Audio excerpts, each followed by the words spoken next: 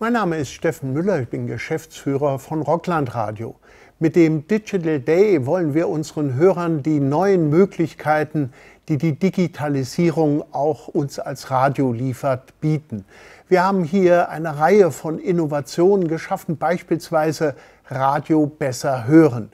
Zum Beispiel äh, kommen Sie öfters in Gegenden, wo Sie über UKW den Sender nicht mehr richtig empfangen können, über den digitalen Weg eine App runterladen, dann im Auto über Bluetooth kurzschalten und schon äh, können Sie endlos lange Rockland mit sich im Auto führen. Es gibt darüber hinaus aber auch neue Programmangebote wie Best of Rock FM, die Sie über diese App auch zusätzlich zu unserem UKW-Radioangebot hören können. Darüber hinaus haben wir das Radio TV Rockland TV entwickelt.